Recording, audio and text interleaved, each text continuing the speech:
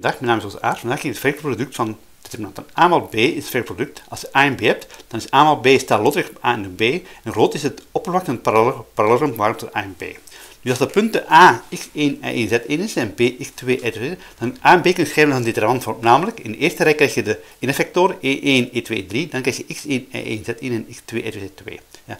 Bijvoorbeeld hier met deze A104 en B123. Dus uw A maal B wordt dan we maken een determinant aan.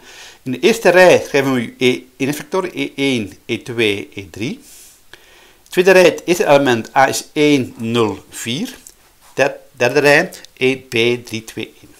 Dat gaan we ontwikkelen, je moet ontwikkelen altijd naar de eerste rij. We ontwikkelen de eerste rij. Dan krijg je E1 nou, met, de, met 0, 4, 2, 1. Dus 0, 4, 2, 1.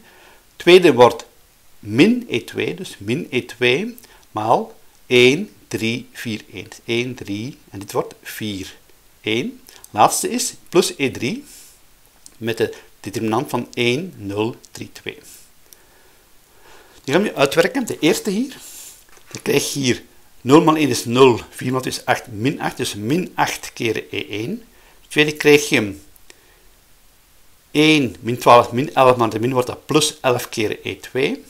Laatste krijg je 2 min 0 is plus 2 keer E3.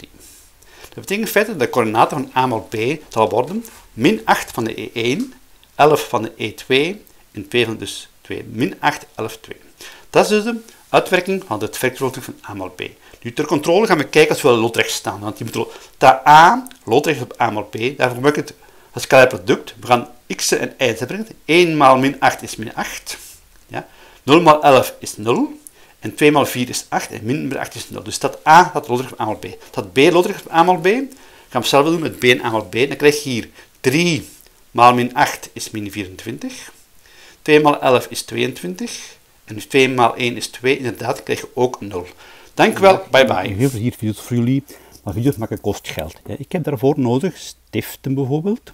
Ik heb ook reinigingsmiddelen nodig, dat is hier een voorbeeld ervan. Daarom kunnen we mij helpen met een geefactie op www.geef.nl.